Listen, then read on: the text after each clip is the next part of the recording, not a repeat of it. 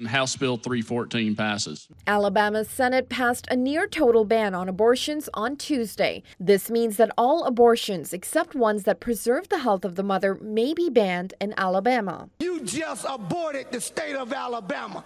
The Republican supported ban also includes penalties. Doctors may face up to 99 years in prison for performing an abortion that goes against the bill. The bill is now headed to Alabama Governor Kay Ivey, a Republican. I expect her to sign it. Alabama State Rep Terry Collins sponsored the bill with the hope that the U.S. Supreme Court will revisit abortion rights. To address the issue that Roe v. Wade was decided on, which is is that baby in the womb a person. Senate Minority Leader Bobby Singleton says if the bill passes, then doctors may start leaving Alabama. And if doctors start walking out of the state, don't blame nobody but yourselves. According to Reuters, Ivey has a week to sign or veto what could become the nation's strictest anti abortion law. For more information, visit globalnews.ca.